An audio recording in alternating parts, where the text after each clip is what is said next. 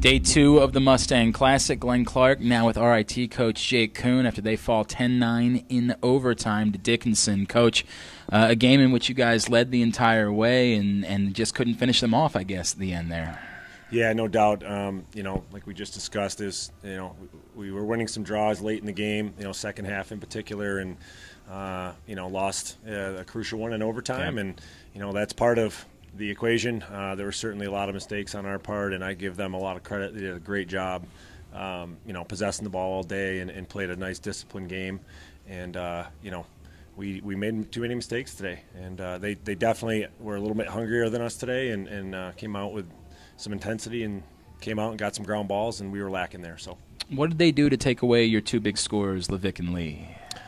Possess the ball. Yeah, yeah. they possessed That'll the ball well. Yeah, they possessed the ball pretty well, and and uh, you know we didn't get much transition today. You know they for whatever reason were stopping our transition, and uh, a lot of it comes down to making saves and ground balls, and you know we didn't you know get a lot of those today, so we didn't come up with uh, too much transition. So that that helps them. Uh, other than that, I mean, you know I, I couldn't really pinpoint it. Um, uh, their goalie made some good saves Yeah. as well, and uh, you know we just didn't get as many shots as we'd like. Yeah, speaking of goalie plays, as well as Jones played, and he was phenomenal. I thought your goalie Nesbitt also played really well, and again today he played pretty well for the entire tournament. Yeah, no doubt. I mean, he didn't have a bad day, that's for sure. I mean, I, I uh, you know, certainly don't blame anybody. It's a, it's a complete team loss. You know, he, he came out, he, he, he played well, he cleared the ball well.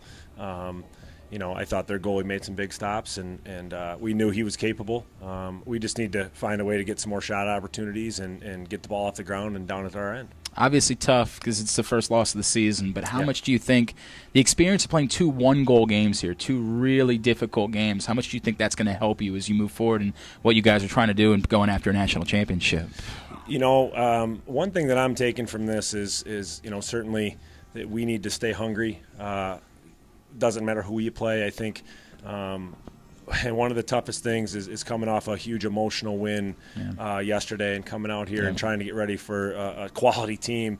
Um, and, and them losing kind of handily to Denison yesterday probably didn't help our psyche today. But um, you know, that it just tells our guys we're we're not unbeatable and uh, that we need to come ready to go every single time out. Well, Coach, we were happy to have you guys again here at the Mustang Classic this year, and you gave us two really thrilling games that I know a lot of people enjoyed. So we really appreciate that, and we appreciate taking the time for us here. Yeah, thanks, Glenn. Appreciate He it. He is much. RIT coach Jake Coon after a tough one today, falling 10 9 to Dickinson. I'm Glenn Clark. This is GoMustangSports.com.